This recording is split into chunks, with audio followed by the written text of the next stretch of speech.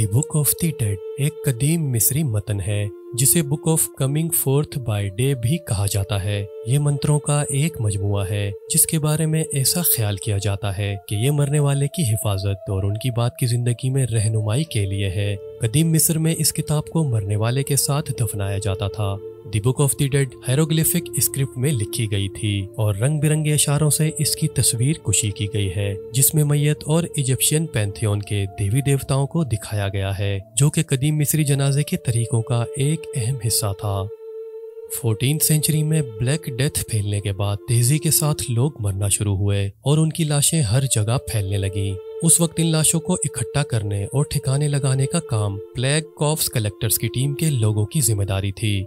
इस special team में अक्सरियत कैदियों की थी, जो इस खतरनाक काम को करने के लिए मजबूर थे। ये प्लेग बॉडी कलेक्टर्स घर घर जाकर मरने वाले की लाशों को इकट्ठा करते और उन्हें इज्तमाही कब्रों के घड़ों में ठिकाने लगाने के लिए ले जाते। इस प्लेग से मुतासरा लाशों को ठिकाने लगाने का काम इंतहाई खतरनाक था और इन कॉफ्स बॉडी कलेक्टर्स में से अक्सर इस जानलेवा बीमारी का शिकार होकर मारे जाते।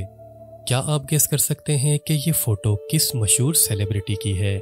यह मशहूर कॉमेडियन चार्ली चैपलन है। 1977 में इक्यासी साल चार्ली चैपलन की डेथ हुई थी। मगर एक साल बाद कुछ डाकुओं ने कब्र से उनके ताबूत को चुरा लिया, जिसमें उनकी बाकियात मौजूद थीं। उन डाकुओं ने चार्ली चैपलन की बेवा से 6 लाख डॉलर तावान का मुतालबा किया, मगर बाद में ये पकड़े गए और चार्ली चैपलन की बाकियात को दोबारा कब्रिस्तान में दफना दिया गया और इस बार इनके ताबूत को कंक्रीट से घेर कर दफनाया गया, ताकि दोबारा कोई इसे चोरी ना कर सके। 13 नवंबर 1954 में साइला काओगा अलाबामा के गाँव में एक मेटेरॉइड आसमान से गिरा, जो एक लेडी एन होजिस के घर की छत से टकराया जब वो सो रही थी। इस हादसे में एन होजिस को मामूली चोटें आई, लेकिन ये इंसिडेंट पूरी दुनिया में हाईलाइट हुआ, क्योंकि ये मॉडर्न एरा में किसी भी शख्स के मेटेरॉइड से टकराने का एक मारूफ वाक्य समझा जाता है। इस मेटेरॉइड का वेट तकरीबन 3.9 केजी था। वर्ल्ड वार के दौरान दुश्मन के आने वाले जंगी तैयारों को साउंड लोकेटर की मदद से सुनकर मालूम किया जाता था, क्योंकि उस दौर में रेडार की इन्वेंशन नहीं हुई थी। इस फ़ोटो में जो डिवाइसेस आप देख रहे हैं, वो मुख्तलिफ़ किस्म के साउंड लोकेटर हैं, जो कि जंगी आलात से ज़्यादा म्यूज़िक इंस्ट्रूमेंट की तरह दिखाई देते हैं।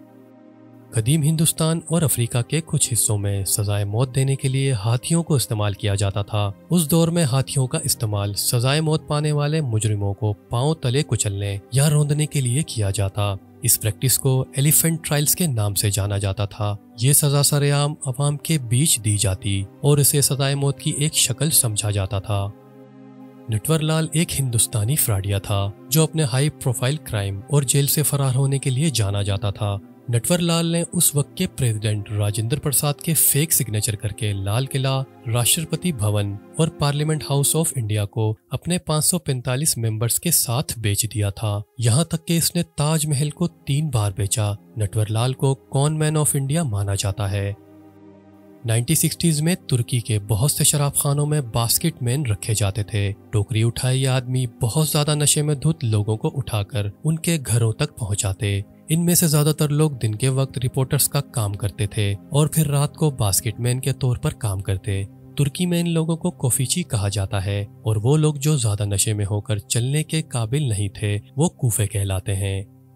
हैंस लेंगेसेथ एक नॉर्वेजियन अमेरिकन किसान थे, जिन्हें सबसे लंबी दाढ़ी रखने के रिकॉर्ड से जाना जाता है। Guinness book of world record के मुताबिक, जब हैंस लेंगेसेथ की दाढ़ी की पेमाइश की गई तो इसकी लंबाई 17 फीट 6 इंच थी, और ये दाढ़ी इतनी लंबी थी कि इसे नापने के लिए इनके जिसम के गिर्द जख्म लगाना पड़ता था। हंस लेंगेसेथ का इंतकाल 1927 में इक्यासी साल की उम्र में हुआ।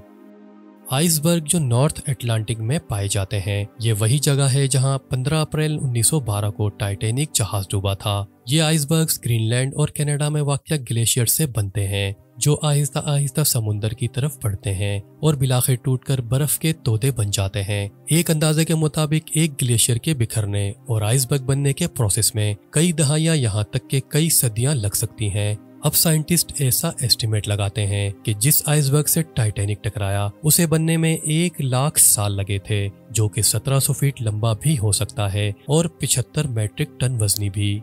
आज की वीडियो में बस इतना ही। वीडियो को लाइक और कमेंट सेक्शन में इस वीडियो का फीडबैक हमें ज़रूर दें। हमारे चैनल इन्फोमाउंट को ज़रूर सब्सक्राइब करें। अपना बहुत ज़्यादा ख्याल रखें। अल्लाह हाफिज।